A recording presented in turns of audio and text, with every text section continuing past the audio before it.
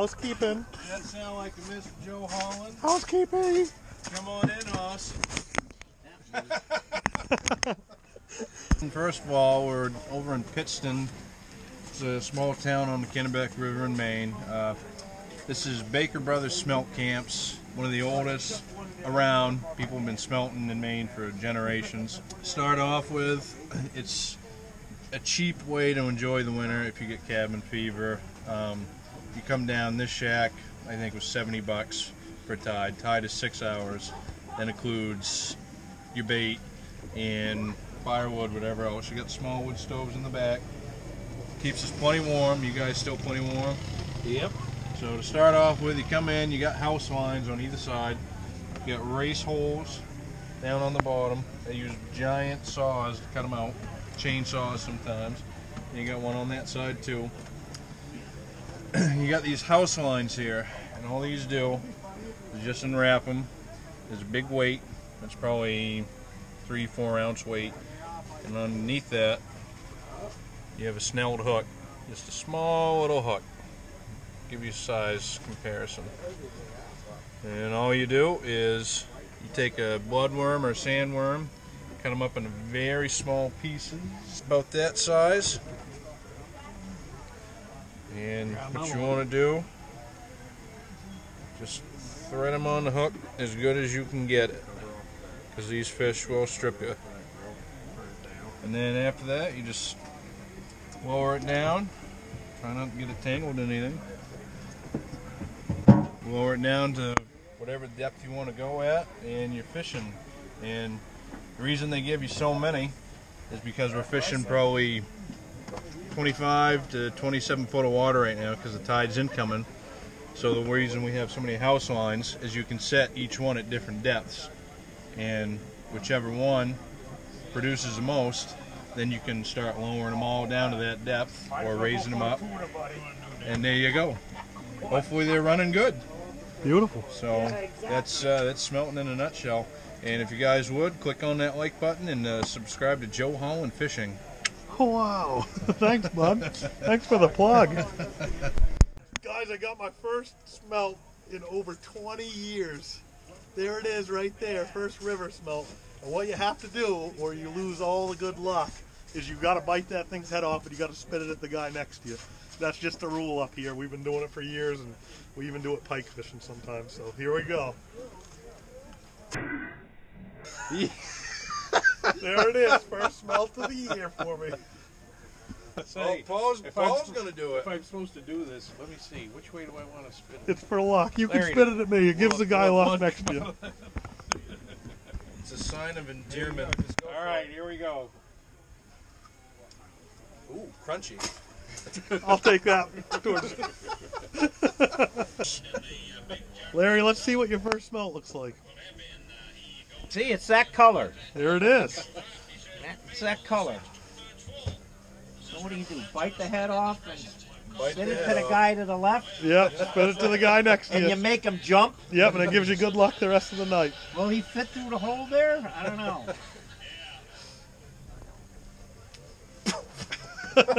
like he couldn't even put it in the bucket. Look at the poor bastard's gills are flying. Oh, he popped off. And this is all schools of smelt right here, coming through between 18 and 22 feet.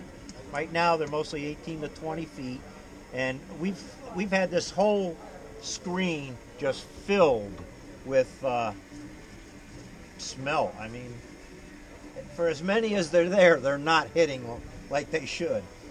And now we're a little bit deeper, right? Tell the folks Oh yeah, it was when we started. started at it at basically 21 feet, and now we're fluctuating to, wow, you know, right there at 27. Well, actually, what's happening now? My battery is almost dead, so uh, Looks like the bottom's at 24. yeah, bottom's almost 24, but we're getting there's there's a It thick school. The bright the bright red is a very sugar. thick school of fish. Awesome. And there's your transducer in the hole, right? Yep, right there, And this is your phone. and there's the phone. So pretty cool. Yeah. Oh, there's a look at up higher. Yeah. Boy, we haven't seen, you know, eight eight feet off the bottom. We haven't seen that. And what are you working on over here on your right? You got a camera?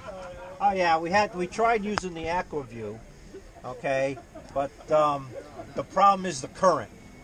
The current just uh, takes it and it it's gone. Show us what kind of screen, what kind of view you get with that. Pretty good. This this is the new Revolution, Micro Revolution. It's pretty uh, pretty good. Yeah, I like that. That's the little micro. Yep. Oh, we got one on. Oh, we got one. Oh. Came up. And what you working on over there with the wood stove?